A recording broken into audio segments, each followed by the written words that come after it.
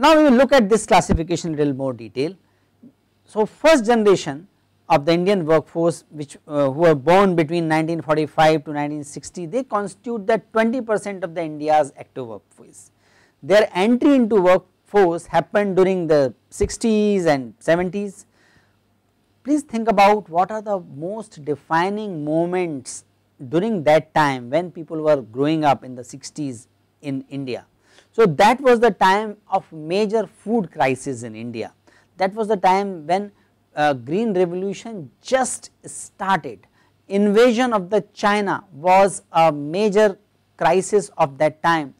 Uh, East Pakistan was formed, they have this generation has seen East, East Pakistan being formed. Uh, green revolution started in 70s, Nation, the nationalization became a major step which defined politics as well as economics. Emergency was imposed in the 70s. Uh, was the major source of communication in India, uh, major source of mass communication in India. Akashvani means the, the government uh, sponsored, government supported radio channel of. Uh, so, these are the uh, important characteristics of the 60s of when the free Gen was growing up. Thanks to many of these characteristics we see some of the common attributes of the free generation. What is that? These, these attributes are like service orientation. So, these are the people who, uh, who are inspired by the idea of nation building and uh, this was the time period when this generation was growing up lot of conversation was happening around the socialism and various uh, shades of socialism. So, uh, that has naturally affected their uh, worldview about their role in the society, role of the politics in the politics and economics in the nation building. They are naturally relationship driven, they want to please their bosses because this is probably also is the hangover of the colonial past. Uh, they are found to be generally good team players, uh, found to be uncomfortable in uh, resolving conflict, found to be uncomfortable in the conflicting situation, little less assertive uh, generation, uh, give more importance to process than the result uh, and very sensitive to the feedback. So, these are some of the characteristics being found uh, by uh, Soundarya Rajesh and her team in this generation and this uh, study is based on large number of the focus group discussions and the interviews of the, the corporate leaders working in various industries.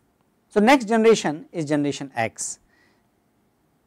Those who were born in between 1961 to 70, what are the defining moments for this generation? Those who were born in 60s, those who were born in early 60s and they were growing up and started thinking about their surroundings, started making sense of the economic and political scenario when they are like 15, 20 years or uh, 20 years old.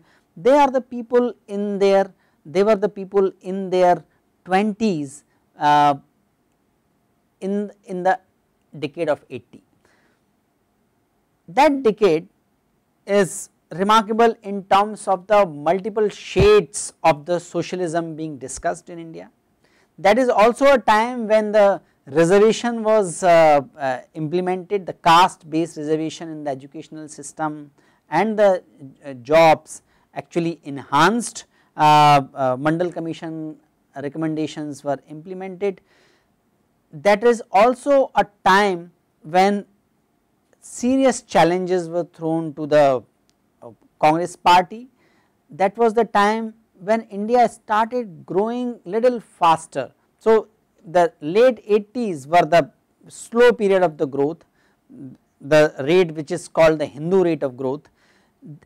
During this time the growth rate increased little bit, India was kind of uh, getting acceptance as a nuclear power, uh, these, this generation has seen that and women in India made remarkable progress during this time. So, that was the beginning of the recognition of women power in India.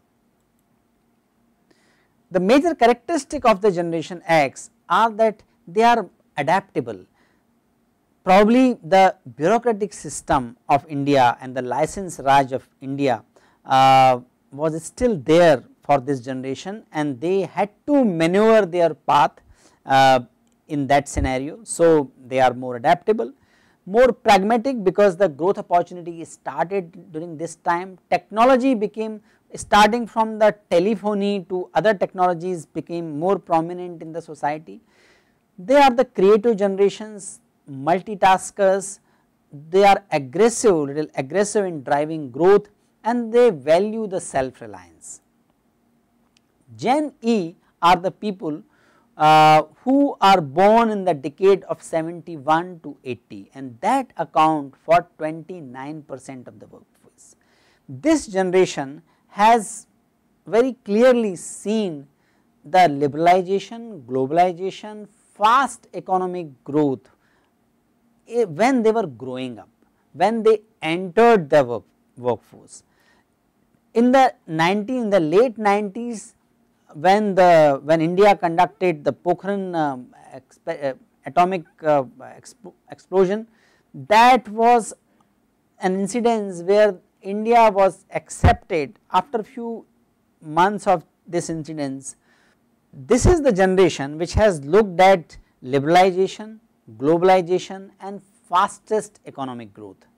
In the 90s India conducted the second atomic test in Pokhran at the time of uh, the prime ministership of Atal Bihari Vajpayee and within few months or years India was accepted as a uh, uh, responsible nuclear power.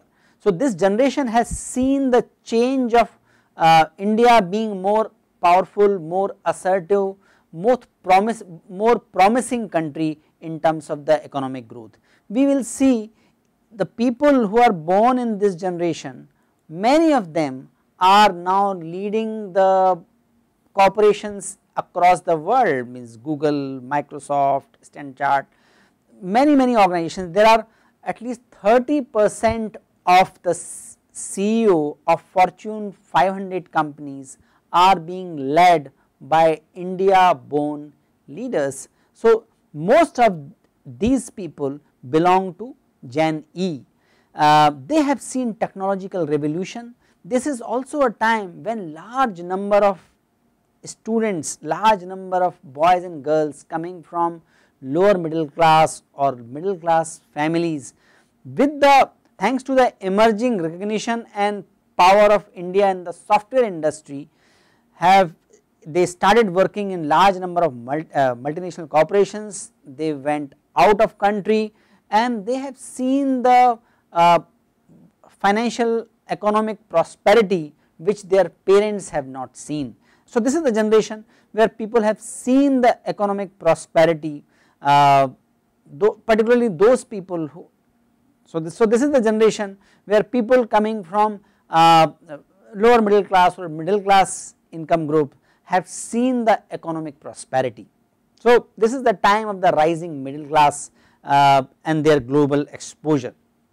The members of this cohort they value hard work and they believe that efforts in the right direction can bring result because they are seeing those results lot of people of the Indian origin going to very uh, reaching to the very high level of the corporate ladder. so that gives that confidence.